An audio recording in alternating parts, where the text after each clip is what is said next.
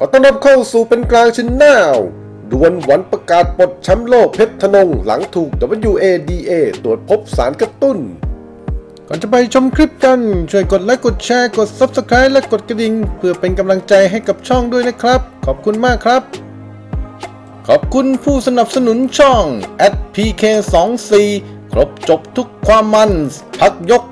24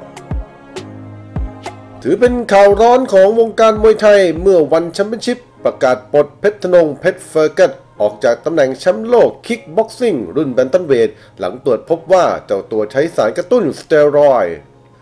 จากการยืนยันของเปรมอริยวัฒน์บุษราบวรวงศ์กรรมการผู้จัดการ ONE Championship ประเทศไทย โปรโมเตอร์ ONE ลุมพินี และปลายจิตินัฐ อัษฎามงคล ประธาน ONE Championship ประเทศไทย ระบุว่าองค์กรต่อต้านการใช้สารต้องห้ามโลก หรือ WADA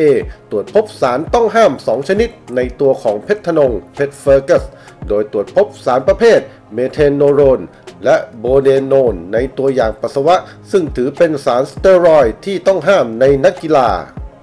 นี่ถือว่าเป็นครั้งแรกที่ ONE Championship ประกาศปลดแชมป์โลกออกจากตำแหน่ง เพราะตรวจพบสารกระตุ้นในร่างกาย ทั้งนี้เพชรนงมีสิทธิ์ที่จะยื่นอุทธรณ์เพื่อพิสูจน์ตัวเอง โดยเจ้าตัวจะถูกแบนห้ามขึ้นสังเวียนในวันเป็นเวลาถึง 1 ปี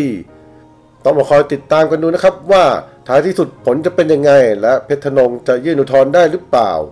คอยติดตามอัปเดตข่าวสารที่นี่เป็นการชแนลขอบคุณมากครับ